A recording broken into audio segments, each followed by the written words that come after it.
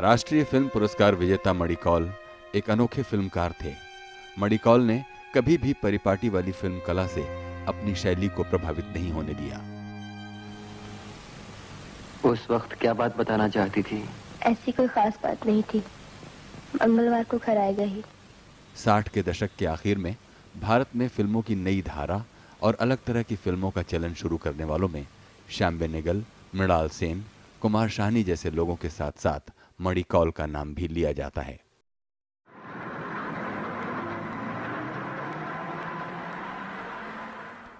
अब तक क्या किया?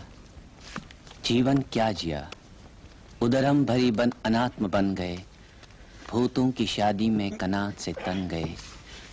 किसी व्यभिचारी के बन गए बिस्तर। दुखों के दागों को तगमों सा पहना। अपने ही ख्यालों में दिन रात रहना। असंख्य बुद्धि व अकेले में सहना। ज़िंदगी निष्क्रिय बन गई तलगर। अब तक क्या किया? जीवन क्या जिया? बताओ तो किस किस के लिए तुम दौड़ गए?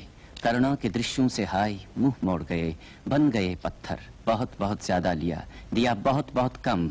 मर गया देश। अरे जीवित रह गए तुम। उसकी मणिकौल ने उसका उसकी रोटी आषाढ़ का एक दिन दुविधा और इडियट जैसी फ़िल्मों का निर्देशन किया। उन्हें देश विदेश में काफ़ी सराहना मिली उनकी चार फ़िल्मों को फ़िल्म फेयर क्रिटिक्स अवार्ड मिल चुका है। ये चार बरस तो स्वप्न थे, ओझल हो गए। भला सपने का क्या सहारा और कितनी उसकी जड़ें गहरी। कोई पुरुष इस बात की जानकारी चाहता तो मैं उसे हाँ या ना में कुछ जवाब ही देती।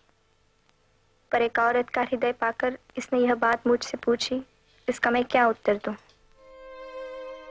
राजस्थान में कश्मीरी मूल के परिवार में जन्मे मणिकौल ने एफ़ से पढ़ाई की और फ़िल्म निर्देशन के क्षेत्र में उतरे। जल्द ही उन्होंने प्रयोगात्मक फ़िल्में बनाकर अपनी अलग जगह बनाई। व्यावसायिक फ़िल्मों की तड़क भड़क से दूर वो ज़िंदगी भर अपनी तरह की फ़िल्में बनाते रहे।